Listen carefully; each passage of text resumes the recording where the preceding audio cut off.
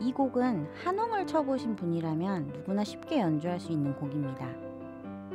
왼손과 오른손이 똑같은 음을 치고 있어서 한홍과 비슷하다고 생각하실 수도 있지만 TV나 영화에서 많이 나온 곡이라 아는 멜로디를 연주하면서 오는 즐거움이 큰 곡입니다. 첼로 곡의 특징이 담겨 있기 때문에 첼로를 좋아하시는 분들이라면 누구나 좋아하실 곡이기도 하고요. 제가 뽑는 이 곡의 매력은 첼로가 이 곡을 연주할 때 가장 낮은 음들을 조금 길게 소리내는데 피아노에서도 마디의 첫 시작 음들을 조금 더 길게 누르면 마치 첼로 연주를 하는 것 같이 느껴집니다.